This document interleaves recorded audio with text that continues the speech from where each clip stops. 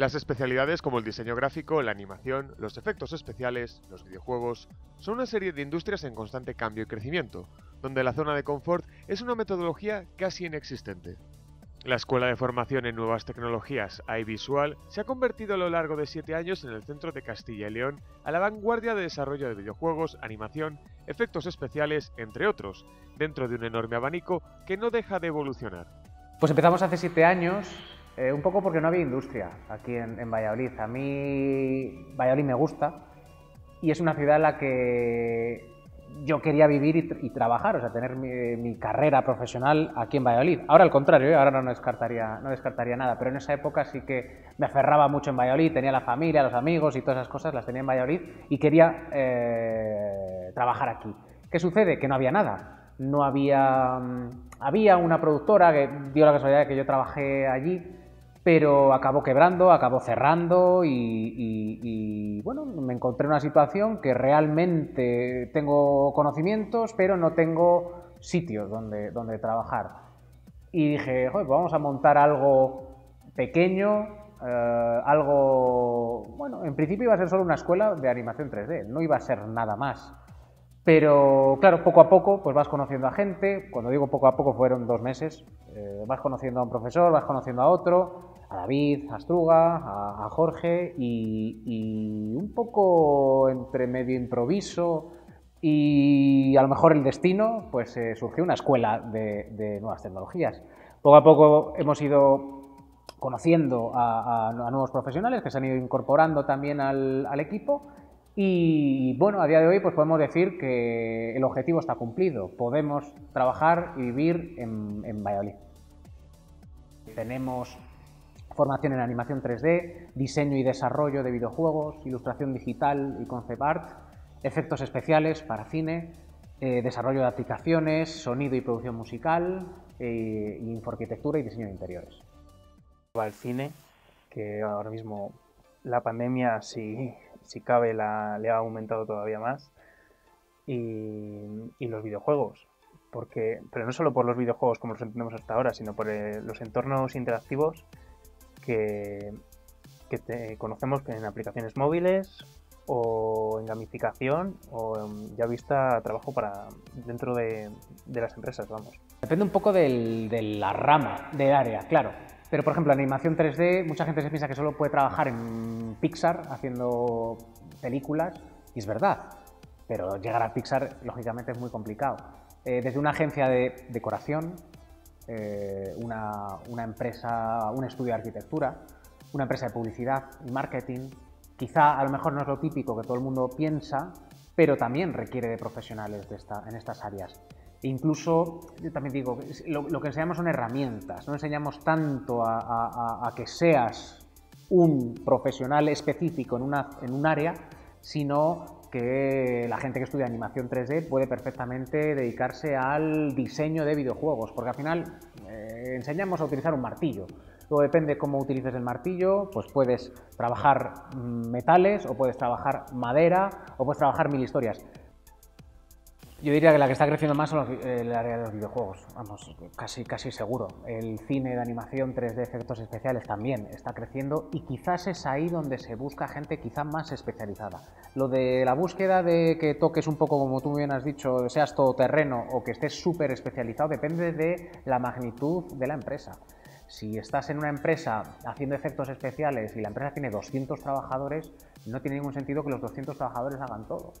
Te puedes poner con cinco personas que solo sepan hacer fuego, cinco personas que solo sepan hacer aguas, cinco personas que solo sepan destruir cosas. Pero claro, lo que hacen esas 15 personas juntas no puede ser imposible eh, que esté a la altura de tres personas que toquen un poco todo, que sepamos romper, que sepamos eh, explotar cosas o meter fuegos o tal. Entonces va un poco, como comentaba, del tamaño, del tamaño en sí de la, de la, de la propia empresa. Se ha visto un cambio muy bestia en la capacidad de, render, ¿no? del cálculo de cómo se puede sacar una imagen por ordenador.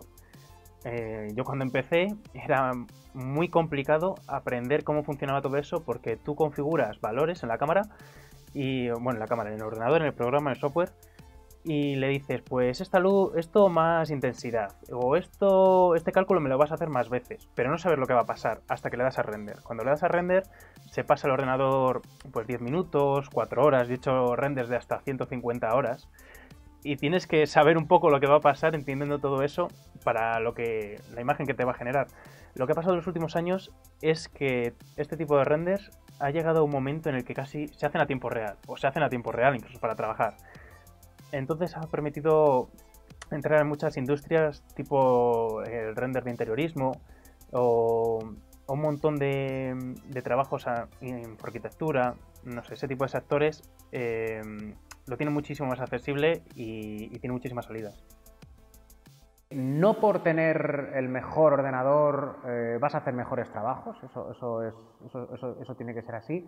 Y un poco los ordenadores, tampoco quiero decir que tengamos ordenadores de la NASA, porque no es, no es, no es verdad, tampoco ordenadores de locutorio, obviamente, pero sí algo intermedio. De hecho, es como más o menos un ordenador quizá un, un, poco por encima de lo que tiene una persona común en casa, que es como hay que, como hay que aprender de nada sirve tener un ordenador de 3.000 euros si no le, sabes sacar rendimiento. Yo le digo a todo el mundo que el ordenador es tu herramienta, igual que mm, un mecánico tiene su set de herramientas, es en lo que tiene que invertir, pero si no obtienes ingresos, si no tienes dinero, tampoco tiene sentido que te pongas a, gastarte, a invertir en piezas de, de un ordenador. ¿Qué quiero decir con esto? Que hay que empezar, hay que aprender con un equipo lo más humilde, por decirlo así, posible, que ir para arriba eh, el tiempo te lo va a dar. Pero si eres capaz de crear cosas espectaculares con un ordenador mm, mediano bajo, eh, lógicamente va a ser mejor. La última, inversión, última inversión que hemos hecho en ordenadores, estamos con 3080 de gráfica para el estudio, no para, no para la escuela. 32 GB de RAM, pero porque son los ordenadores con los que trabajamos, no con los que damos, damos formación porque se supone que esos ordenadores los están controlando personas que sí que necesitan ah, tener eh, una herramienta versátil, potente, y, pero un estudiante no creo. Cuando muchas veces me viene gente y dice, ¿qué ordenador necesito? Tranquilo, con un ordenador normal, para empezar, te va a servir. No hace falta irte a 32 GB de RAM, ni 16, incluso 8. Hablando de las placas base, eh, un gran problema hasta ahora a la hora de render es que lo más importante era el procesador. Y el procesador no le puedes eh, actualizar si no actualizas la placa base. Si cambias la placa base casi tienes que cambiar todo el ordenador. Entonces, eh, más pensando en qué actualizar, pensar muy bien cuando se va a comprar un equipo nuevo, que no tiene que ser un equipo de la hostia, pero puede tener muy buena placa base y tener muy buena carcasa para poderla ampliar en un futuro. Porque ampliar un concepto de un ordenador así sin más es muy complicado ahora mismo las gráficas. Si puedes ampliar en algo, las gráficas, porque todo lo que hacía antes el, incluso el procesador, el render y cálculo de iluminaciones y demás, va por gráfica. Bueno, hay una, hay una que siempre pasa, que nos pasa muchísimo. Aquí en la escuela al final ofrecemos eh, formación de ilustración digital, 3D y, y, programación de videojuegos, lo básico. Y nosotros, en mi caso, en mi caso concreto, por ejemplo, y el de David, hacemos 3D. O sea, hacemos cualquier cosa en 3D que nos la podemos currar más o menos y siempre nos dice la gente, Buah, tienes que dibujar de puta madre, o sea, tiene que ser la hostia. Y, no, o sea, no es que no sabemos hacer nada, o sea, nos cuesta explicarnos entre nosotros cuando pues un monigote aquí y, un, y una casita aquí. Pues la gente que he conocido, la gente que ha pasado por aquí es... Eh, ha habido de todo, lógicamente, pero gente que ha empezado como alumno y ha acabado como amigo, eh, y un montón de gente buenísima que, por suerte a día de hoy está haciendo cosas muy grandes. Esa para mí es quizá la principal eh, anécdota o la principal, eh, no sé, cosa. Mucha gente me dice, ¿y por qué no echas tu currículum en Pixar o en algún sitio de esos? tampoco lo necesito. O sea, no es una cosa que diga, es que mi aspiración es trabajar en Pixar. Mi Pixar es esto. La formación no acaba en centros de este tipo, y gracias a las nuevas tecnologías de la información, cualquier persona puede introducirse o especializarse en estas nuevas ramas por su propia cuenta. Masificación de la formación. Y el, principal problema que yo veo en esto es que la gente, o mucha gente, no digo todo el mundo, pero mucha gente hace tres cursos de 10 euros, realmente se creen que lo saben todo eh, porque el, curso se lo ha dicho, es que incluso la persona que ha dado el curso eh, no estaría ni preparada para trabajar. Y, eso luego al final chafa a la, persona y, le frustra. Y yo es que lo he visto ya no solo en, cursos baratos, ¿eh? en formaciones regladas, en FPs, en, carreras universitarias, gente que, se cree que ha estado dos años, cuatro años aprendiendo cosas que por el sistema o por lo que queramos, esto también daría para, otro vídeo. Eh, no está montado el sistema para... La, tecnología avanza más rápido que lo, que lo que el sistema es capaz de adaptarse y eso hace que muchos estudiantes estén aprendiendo cosas que ya no se están usando directamente tecnologías que ya no se utilizan, metodologías que ya no se utilizan, pero claro, es lo único que conocen y, creen que saben ya todo. Y no es menos cierto que pasa todo lo contrario. Hay que tener mucha capacidad crítica con uno mismo. Hay que siempre decir, o sea, pararte, decir, menuda mierda he hecho ahora, a mejor. Y eso todo el rato, todo el rato es así. O sea, no puedes contentarte sí que a lo mejor dices, pues este trabajo o este presupuesto o esto que hay que terminarlo ya y en este tiempo, que no tienes cinco años para hacer, pues eso, pues una animación de un minuto, yo qué sé, pues este es el resultado que quiero. Pero tener mucha capacidad crítica y decir, se puede hacer mejor o seguro que hay algo mejor. Y, solo con eso ya sigues investigando y, sigues formándote. Si no dices, ya, mm, no sé, me he hecho un curso, eso, 10 minutos, por llamarlo curso ala, pues ya sé hacer esto. Uf, es que no sabes nada. Y, a veces trabajando, yo mismo mm, me da miedo, estoy haciendo esto, quizá no sé todo lo que tengo que saber eh, para tenerlo en cuenta y si da luego un fallo, entonces estar con, con esa un poco de preocupación todo el rato. A día de hoy hay tanta información en Internet que vamos muy ligado a otra cosa que yo siempre digo, que el que no hace videojuegos es porque no quiere. Yo no digo que tengas que venir aquí a estudiar con nosotros, pero sí que es verdad que lo bueno que tiene una escuela, eh, seamos nosotros o sea quien sea, en comparación, digamos, a otras soluciones de formación, véase cursos online o tal, es la personificación. O sea, al fin y al cabo te conoces el nombre y el apellido de todos los alumnos, eh, sabes de su vida, ellos saben de la tuya, al final se genera un vínculo incluso con los alumnos online. Yo hay alumnos que no he visto, bueno, la mayoría, no los he visto nunca, pero ya es como si los conociera, o sea, porque hablamos o nos llamamos por teléfono.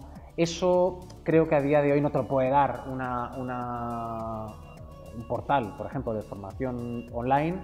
Y sobre todo también la calidad. A mí algo que critico mucho de, todos estos portales de formación es que cualquiera puede ser profesor. O sea, yo ahora mismo mm, puedo crear un curso de tarot sabiendo o no sabiendo tarot. Y, está ahí puesto y está ahí, eh, se comercializa y se supone... Mm, a, mí es lo que no, lo que no, no, me termina de, No termino de entender, que cualquier persona, da igual el currículum que tenga, pueda dar clases de algo. Eh, igual que un médico tiene que tener sus títulos y tiene que tener su, experiencia, lógicamente, y su práctica, un profesional de esto o de cualquier área, ¿eh? vuelvo a lo mismo, no puede dar clase. Al fin y al cabo, yo por ejemplo estoy certificado por, Autodesk, eh, son exámenes muy complejos, la verdad que son un poco como el carnet de conducir, son complicadillos Mm, y bueno, tampoco te avala que seas un profesional, pero bueno, sí que pasas un filtro. Por lo menos ya, tienes algo que otra persona pues, pues, pues no tiene. Más por ahí deberían ir los tiros, que la gente que esté dando formación de, esta, eh, de este tipo esté eh, certificada o tenga alguna titulación específica del área que están formando. Depende mucho lo que quieras estudiar. Eh, nosotros cuando para hacer un personaje podemos pasar el personaje hasta por siete softwares diferentes, cada uno pues para eso, el pelo o para las texturas, o para bajarle los polígonos o para los poros de la piel y lo vamos modificando. Si lo que se quiere es acceder al mercado de los videojuegos, en lo que está es Unreal. Unreal Engine es gratuito, es accesible y sobre todo que tiene una, una comunidad en internet y que la misma empresa contribuye a esa comunidad con formación y tiene sus propios cursos gratuitos.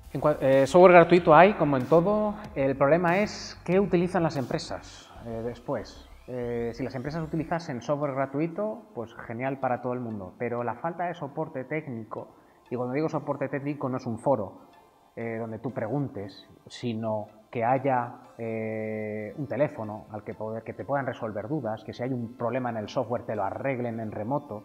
Eso al fin y al cabo es lo que se paga cuando pagas una licencia de un, software. Hay, lógicamente, eh, cosas más caras e incluso es una crítica un poco al, a las empresas de software porque cada vez son más caras, cada vez encima funcionan peor los software y cada vez son encima más caras y hay muy poca accesibilidad para estudiantes que un estudiante le obligues a pagar una licencia para trabajar con, para, estudiar con tu software, no lo, para mí no lo veo lógico. Eh, me gusta mucho la política que tiene Unity o Unreal. Toma, mi software es completamente gratuito, pero en el momento en el que empieces a, ganar dinero, lógicamente, me parece lógico, compra la licencia. Creo que ese, o por lo menos por ahí deberían ir los tiros y que las demás empresas de software aprendan lo mismo que antes, tener capacidad crítica con lo mismo. O sea, siempre estar preocupado. Es una putada, pero tienes que vivir así para no para que no te adelante. Eso, porque siempre esto cada tres meses más o menos, una empresa de tocha saca una actualización nueva de algo que, que, nos revienta la cabeza, que flipas, dices esto, esto no era posible hasta ahora y nos está pasando eso cada tres meses. Pues no podemos quedarnos parados, tenemos que ver qué es eso y, y nosotros mismos eh, lo estudiamos como estudiábamos el primer día, en plan, no estoy entendiendo nada, qué rayada, eh, no sé qué está pasando, ya se me ha petado, eh, y, no sé, tienes que querer vivir así, o sea, te tiene que gustar mucho, tienes que disfrutarlo, no puede ser eso, te haces un curso y ya lo tienes. El consejo es que nunca lo dejes, yo sé que hay momentos muy, muy duros, hay momentos más flojos, hay momentos donde hay trabajo, momentos donde a lo mejor hay menos trabajo.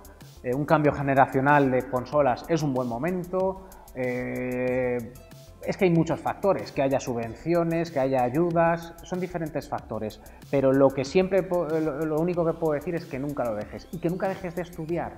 Porque nosotros, aunque llevemos casi llevo 10 años eh, en, esta industria, estamos todos los días aprendiendo cosas, todos los días. La, tecnología avanza, las técnicas cambian y o estás adaptado o, viene una ola, que es el resto de gente que quiere entrar en el sector, y te van a llevar, y me parece lógico.